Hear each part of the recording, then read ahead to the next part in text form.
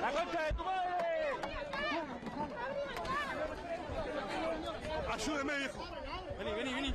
Para el costado. Somos jubilados, hemos laburado toda la vida y hemos luchado para tener nuestros derechos y nos sacaron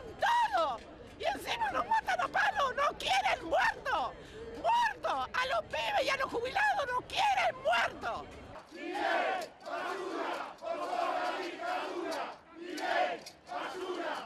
Ya no tenemos ni medicamentos como corresponde, ni podemos alimentarnos como corresponde. Ya olvidemos no de vacaciones, no más vacaciones, no hay vacaciones, no existen las vacaciones.